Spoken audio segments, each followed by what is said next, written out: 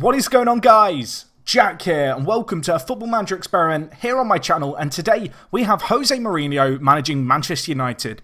In this video we are going to be simulating into the future with Mourinho as manager. We're going to see how he gets on, who he signs, how his managerial career will pan out, how Manchester United will do with him at the helm. As you can see in the top right the date is the 10th of June 2016. Hopefully he can do an okay job of course we'll then compare it to how he does in real life in a few years time I guess. But yes, this is what we're going to do. So to start with, I'm going to holiday forward one year. We're going to see how he gets on in his opening season at Manchester United. Look at his transfers, who performed, who didn't. Hopefully you guys stick around. Let's go forward a year and see how Jose gets on.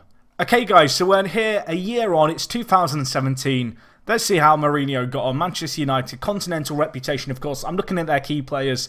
There's nothing new going on there. Let's take a gander at the Premier League table and leading the way well, Arsenal on goal difference. Wow. Okay, so Manchester United and Arsenal both with the exact same kind of uh, points tally you can see there and the exact same kind of results 25 wins each, 8 draws and 5 losses. But Arsenal, led by Arsene Wenger, have uh, won the Premier League. So well, Mourinho isn't going to take that well. Manchester City finishing third and Liverpool fourth. Leicester in their first season, of course, following their Premier League campaign, finishing seventh. And Chelsea in eighth. An interesting one right there. Either way, let's take a look at Manchester United's season as a whole real quick. If we look at their schedule, how did they get on in the Europa League? They got to the quarter-finals and they were knocked out by Monaco 2 1. So that's a little bit of a surprise there. In the FA Cup, they lost in the final against Manchester City. This game uh, was won by a Nasri winner. And looking at it, Yaya Toure sent off in the 16th minute. Um, but, well, despite that, United unable to make a difference with the extra man. In the Capital One Cup, how did they get on? They lost 2 0 to Liverpool. So, well, a trophyless season for Mourinho, but he's got close twice, finishing, you know, second in the league. Uh, of course, missing out ever so narrowly uh, in the FA Cup, trying to obviously emulate Van Gaal's footsteps. Let's take a look at their squad. Actually, to start with, let's look at the transfers. What did Mourinho do with his money? And, well, he spent a fair bit here. He signed Jose Callejon, uh, who is a good little player. Let me put on the, the graph for the people who like to see it. 30 years old, the Spaniard. Uh, brought him in. He's done okay. He's played eight games for them. Actually, he's done awfully. he's played eight games for United in the Premier League, not contributed anything. In the Europa League, he did get three goals, but 17 appearances. For a player who was signed for, well, £14.75 million, it's not the best return. Uh, the next player they brought in, Benatia, or Benatia, uh, from, uh, I was about to say Borussia Dortmund, it isn't, it's Bayern Munich, Jack. Wake up, the Moroccan, the 30-year-old centre-back. A position that a few years ago I perhaps would have agreed United really needed a massive player to kind of sign in that area of the pitch, but with Smalling playing well, I don't know if that's quite so much the case, but looking at it here, that's what Mourinho thought. Uh, Benatia was signed 13 appearances. Didn't play a lot. Has he been injured this year? Uh, no. No, he hasn't. Okay, well, that's a weird one. So they signed him for £15 million and didn't play him. They signed Douglas Costa from Bayern Munich, a really good signing. I like this kind of signing. He did okay. 18 goals and 4 assists in the Premier League from 18 appearances. And uh, actually, looking at it here, all of these transfers happened in January. Hmm, interesting. Very interesting. So they didn't actually make it. That would explain the lack of appearances. See, he didn't spend any money in his first summer. Weird. Don't know what to explain with that, really. Anyway, that, that's what he did. Oh, Jetro Willems as well. We'll mention that one. I really right, rate Jetro Willems in real life. He joined, uh, had a broken collarbone, was out for three to four weeks. Only played two games. That's a bit of a disappointment for him. And also, we'll have a look at Gökhan Töre. Uh, this guy, the Turk, uh, he's 25 years old, as you can see. Looks like a pretty good player. Uh, he played once in the Premier League. He also made 10 appearances in the Europa League. It seems like he did okay there. But really, looking at this as a whole, it's a little bit underwhelming. On the outs, Marcus Rashford went on loan to Wigan Athletic. I, I don't see that happening in real life, but there you go, FM. Um, not not rating him so highly. Nick Powell left the club, but with the exception of that, no real kind of massive departures, I guess you could say. Anyway, if we just quickly look at the landmarks, you can see Schweinsteiger was appointed captain. In terms of who actually performed for the United this year, goal scoring wise, who was getting them the goals. It was Wayne Rooney, followed by Memphis Depay. Depay having a really good kind of bounced back season and actually played a hell of a lot of games for United as well. And uh, Martial there on 13 goals, and Mata actually contributing. I was worrying and uh, wondering if perhaps Mata would be sold, as of course Mourinho sold him at Chelsea. That hasn't happened in FM. He stuck around. He looks like he's been a pretty good player for them. In terms of average ratings, Luke Shaw actually leading the way. That's kind of cool to see, of course been out with such a long term injury in real life. Good to see him in FM kind of bouncing back and playing fairly well. 47 appearances, 13 assists for him, a really good turnaround. And uh, Daley Blind as well doing a good job kind of curious to see where he's been playing. He's been playing at centre back a lot, which I don't know. Blind, I, I still don't see him as a centre back, but I guess with uh, Benatia and of course uh, Smalling in the side, perhaps he could play more as a midfielder going forward. Anyway, that was season one of Mourinho. Let's go forward another year. Let's see what he manages to do in season two. Uh, second in the league, not bad, but I feel like there's a little bit more expected from him and uh, perhaps some silverware to come in the next year. Anyway, as I said, let's go forward to 2018, see how Mourinho gets on in his second season, and uh, well, we'll see if De Gea can be kept hold of for another year. Okay, guys, so we are back forward another year. It's 2018, the end of the year. I've loaded up the Manchester United profile. One of these players is not like the others. Eden Hazard, ladies and gentlemen, has signed for Manchester United. Um, 16 goals uh, in 37 appearances and also 9 goals to his name. He's done quite well, hasn't he, really?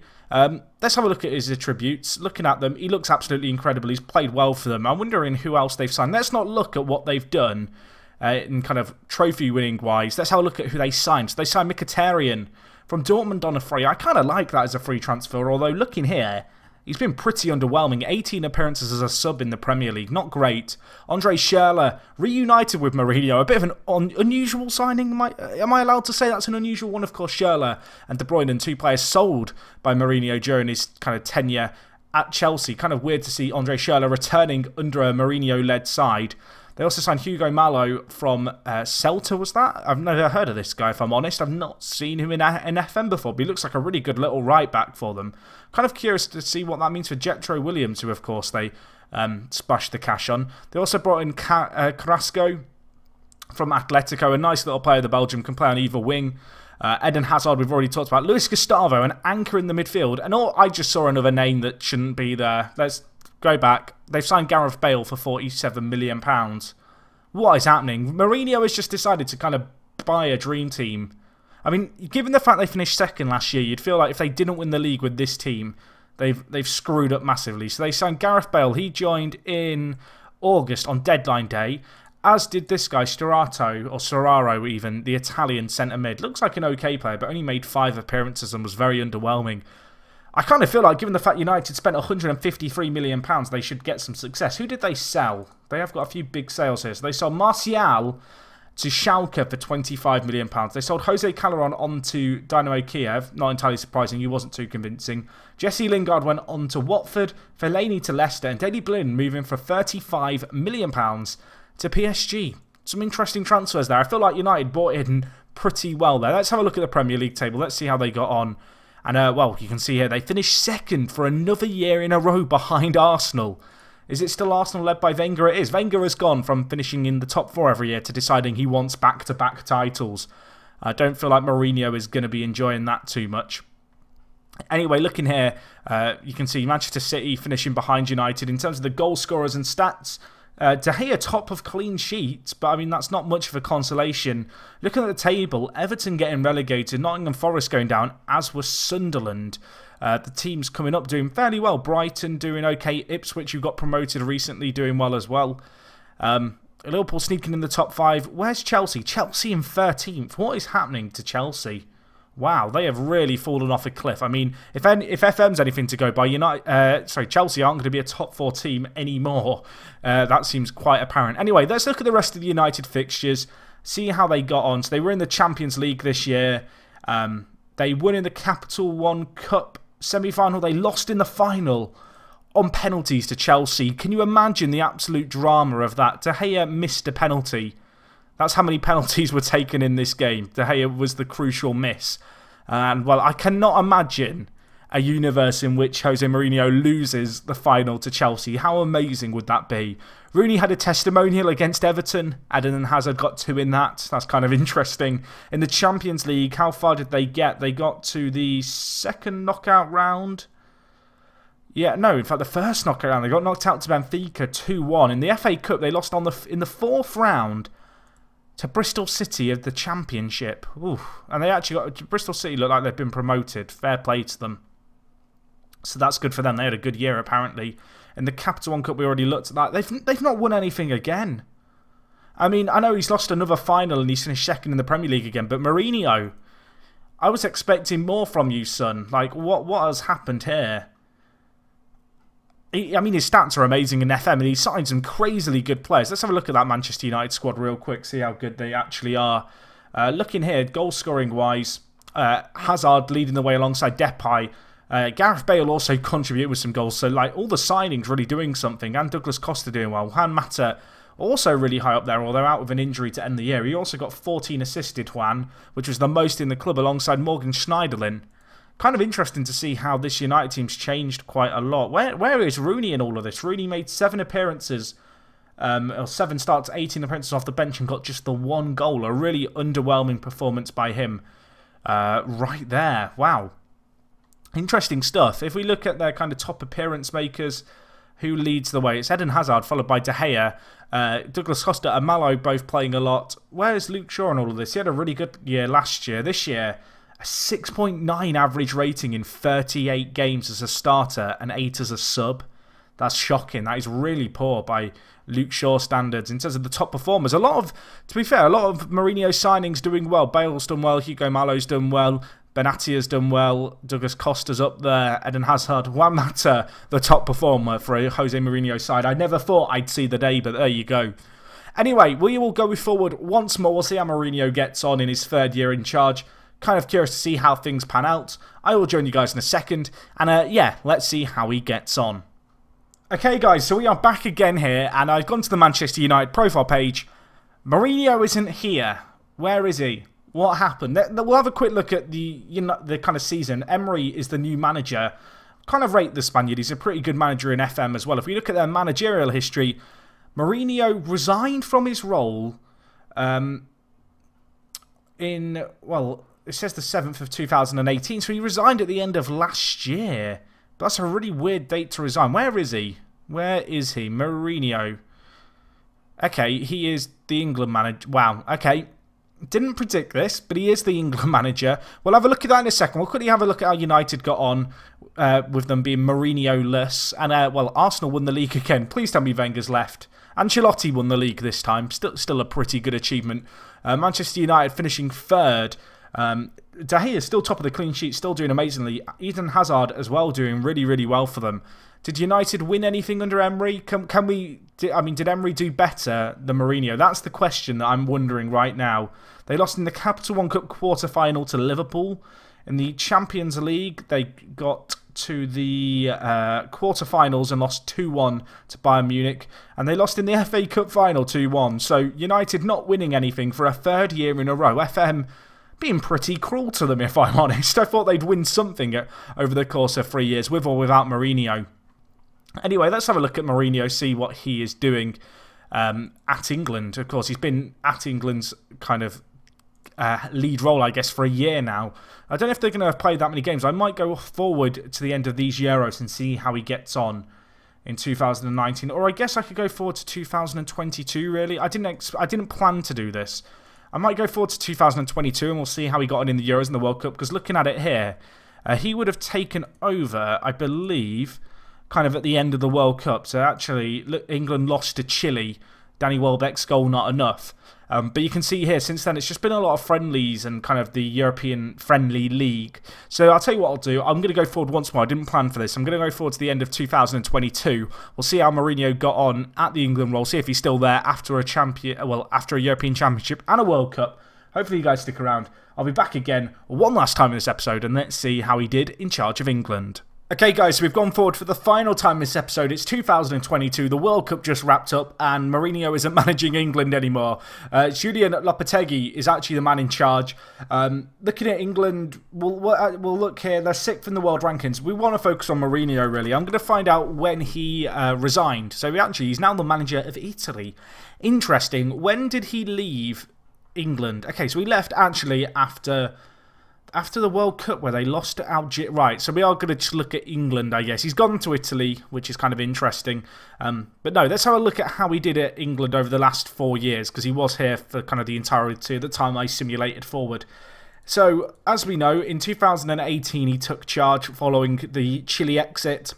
Uh, and then they had the European campaign, which it looks like England kind of passed the test with flying colours here. Um, they only conceded two goals in the entire of the qualifying which is pretty good. I'll, I'll give them that. Not bad. A 9 0 win against Malta's not too bad. Harry Kane with five.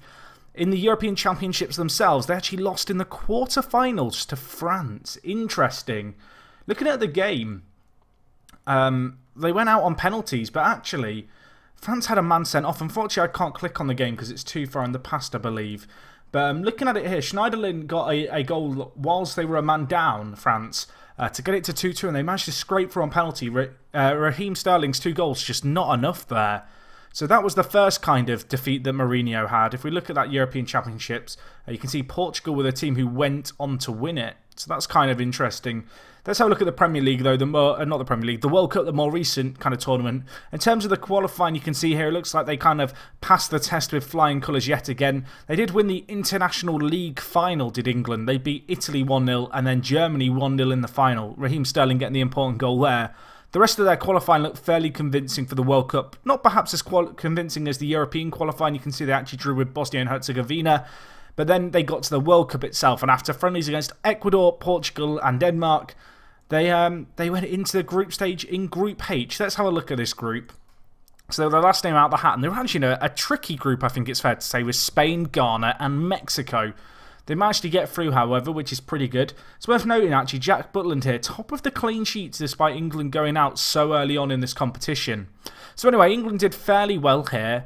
And then if we look at the second round, this is where they collapsed. They went out to Algeria on penalties. I mean, that's not great. I mean, to be fair, we, we, throughout this entire simulation, Mourinho has had terrible luck with penalty shootouts. As it turns out, this game was no exception. Eric Dier missing the crucial penalty right there. Looking at the England squad, uh, you got Eric Dier, John Stones, Luke Shaw. I can only assume Courtney is a regen. He is a re he looks like a quite quite good fullback right there. But um, no, it's kind of a standard England team. The England team itself looked pretty strong. So to lose to Algeria, not not great, Mourinho. Not great, Mr. Jose. I'm kind of curious to know your thoughts here on uh, kind of this little simulation. Could you see Mourinho being England manager after Roy? Seems like a little bit of an odd one to me, but you never know. Football is a very weird thing when it comes to stuff like that. Anyway, that is all from me. If I missed anything in this video, you noticed anything that I missed little details about Jose Mourinho's little kind of tenure in charge of Manchester United, then England. Please let me know down in the comments. If you have enjoyed this video, as always, smash the like button. Guys, I'm going to have some more simulations like these ones coming over the summer period. We're going to have, of course, um, a look at Conte at Chelsea later on in the summer. I've also already got Guardiola at Manchester City ready to go later on uh, this month. Anyway, if you have enjoyed this video, as I already said, leave a like. If you're new to my channel, you want to see more of this, you want to see more FM content in general, subscribe. And other than that, guys, it is me, Jack, and I will talk to you guys in a bit. I'm out.